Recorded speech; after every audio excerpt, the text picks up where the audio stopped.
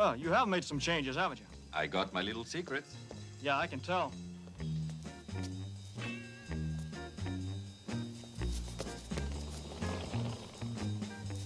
Can you help me, please? Can we help you? Yes, ma'am.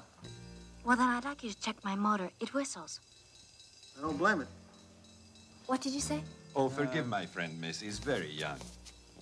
We'll be very happy to check your motor.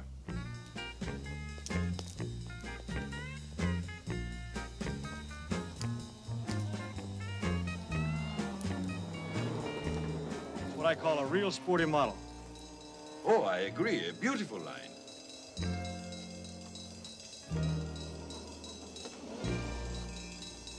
Count? Oh, yes.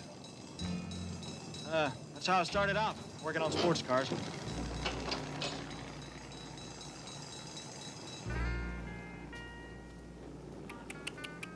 Well, no wonder.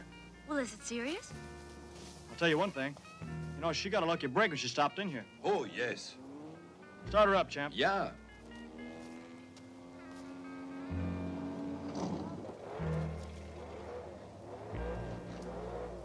Uh, let her rip.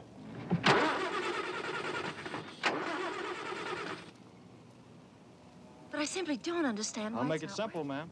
Your motor's broken. Broke? But it was running perfectly when I pulled up here, except for the whistle.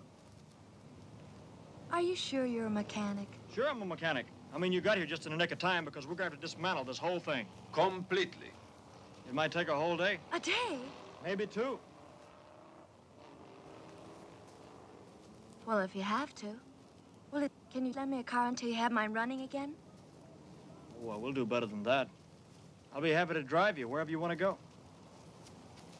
And why should you go to all that bother? Because around here I'm known as your very bothering mechanic. I'm sure you are. Be right back.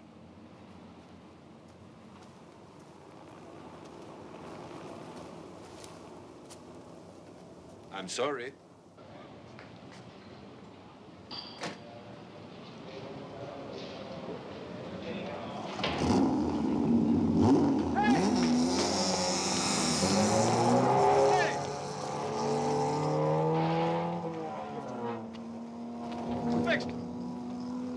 Very smart. You know what you've done? What? You don't even know the girl's name.